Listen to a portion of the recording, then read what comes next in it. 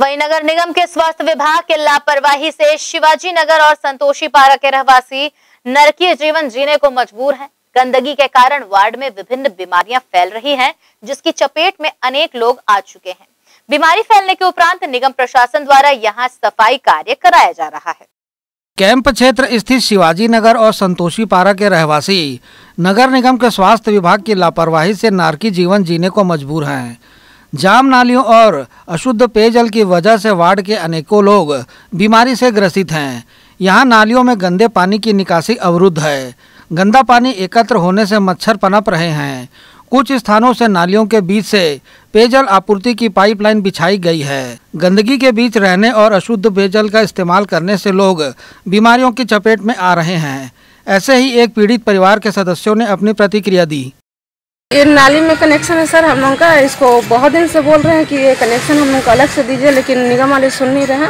और ये पानी पीने से बच्चे लोगों को सभी घर में तबीयत खराब हो रहा है। हम लोग का ये सिर्फ़ ये कनेक्शन अलग कर दीजिए बस। परेशानी है मेरा आदमी का तबीयत खराब हो गया था। उनको ले गए हॉस्पिटल में भर्ती किए हैं। तो ऑपरेशन हुआ है पीलिया से हो गया पथरी।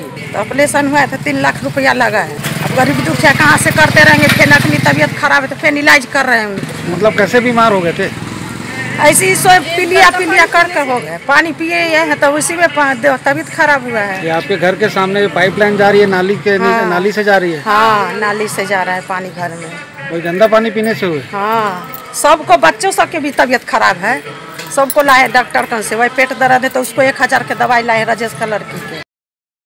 कल्याण सेवा जन जागृति संगठन के अध्यक्ष सुमन सिल ने बीमारियों के लिए नगर निगम प्रशासन को जिम्मेदार ठहराया है।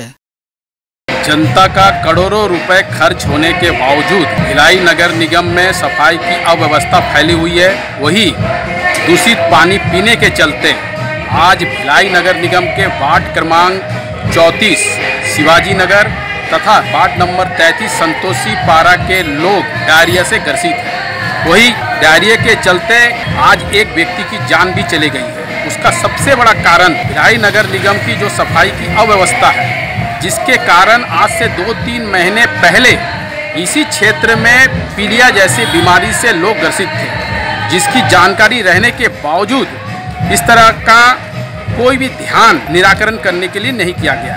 अब वर्तमान में भिलाई नगर निगम सफ़ाई व्यवस्था पर खाना पूर्ति कर रही है और उसका सबसे बड़ा इसलिए खाना पूर्ति है क्योंकि जो नालियाँ बनी है, उसमें पानी निकासी नहीं हो रही है। उसका सबसे बड़ा कारण यह है कि जिस तरह से नाली को बनाया गया है, उसकी ढलाई नहीं है।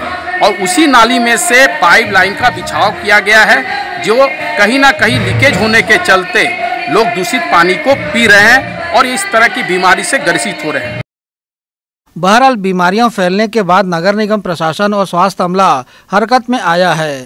साफ़ सफ़ाई के साथ दवाइयों का भी छिड़काव किया जा रहा है।